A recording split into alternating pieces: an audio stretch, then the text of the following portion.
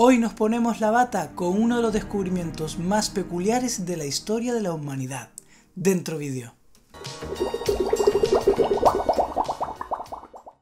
Tenemos que remontarnos unos siglos atrás, a una época anterior a la química tal y como la conocemos. Estoy hablando de la época de la alquimia. Los alquimistas ansiaban la búsqueda de una sustancia que según la leyenda era capaz de convertir cualquier metal en oro. La piedra filosofal. ¿La qué? La piedra filosofal es una sustancia legendaria con poderes asombrosos. Transforma cualquier metal en oro puro. El oro obsesionaba a los alquimistas hasta tal punto que empezaron a considerar si las sustancias doradas tenían oro. Y claro, no tardarían en fijarse en un líquido que los seres humanos liberamos todos los días. ¿Acaso estamos desperdiciando cientos y cientos de litros de un líquido que era rico en oro?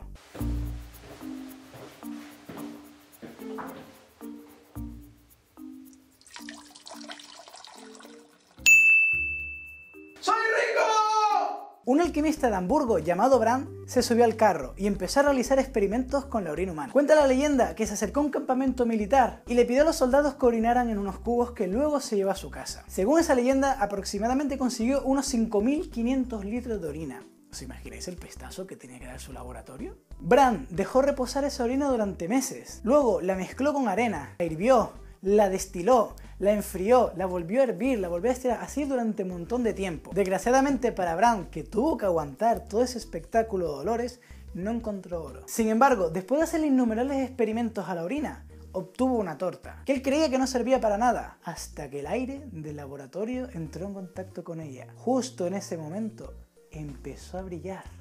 Era la primera vez que el ser humano encontraba un material que era capaz de brillar en la oscuridad sin darle previamente energía. Bran quedó tan alucinado con su nuevo descubrimiento que lo llamó Phosphorus, que en griego significa portador de la luz. En efecto, había descubierto el fósforo.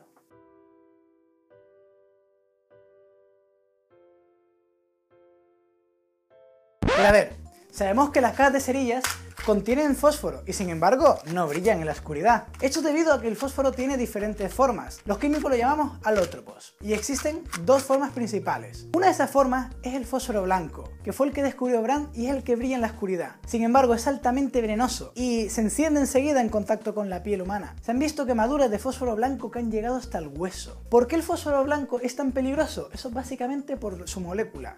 La molécula de fósforo blanco tiene los átomos en posición de pirámide. Esto hace que los átomos estén muy apretados entre sí y eh, tengan ganas de romperse y reaccionar con lo que tengan en mano. Por eso buscan cualquier otro átomo, por ejemplo átomos de oxígeno, para reaccionar con ellos y romperse. Sin embargo, las cajas de cerillas contienen fósforo rojo situado en la banda. El fósforo rojo tiene una forma similar al fósforo blanco. Se puede decir que son diferentes unidades de fósforo blanco unidas por una larga cadena. ¿Qué provoca esto? Que el fósforo rojo no es tan reactivo como el blanco, por lo tanto ya no brilla en la oscuridad, pero ya no es altamente venenoso en comparación con el fósforo blanco. Vamos a intentar emular lo que pudo haber visto Brown cuando descubrió el fósforo. Los químicos llamamos a este experimento el sol de fósforo y es una maravilla, es uno de mis experimentos favoritos. Así que venga, vamos, al laboratorio.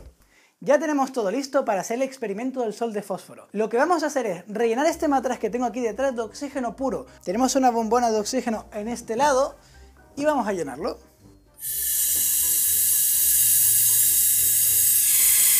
Luego introduciremos una cucharilla con fósforo. El experimento original, y como lo descubrió Bran, era con fósforo blanco, pero dado que es muy muy venenoso, no lo vamos a usar. Sinceramente, yo no me quiero morir en el primer vídeo que grabe. En su defecto, usaré fósforo rojo. El problema de esta forma es que es menos reactiva, y por lo tanto, previamente tenemos que darle un poquito de energía. ¡Vamos a ello!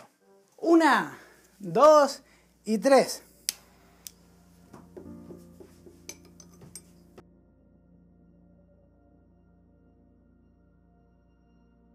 Lo que estamos viendo es posiblemente lo que hizo Brand en su primer descubrimiento. Es una preciosidad. Prácticamente se puede tocar y todo. Ahora mismo el fósforo está reaccionando con el oxígeno de dentro del balón y se está formando pentóxido de fósforo. Esta forma de óxido de fósforo es muy muy corrosiva y reacciona inmediatamente con el agua. Es una pasada, ¿eh? Muy bonito. Este es el resultado del balón una vez terminada la reacción.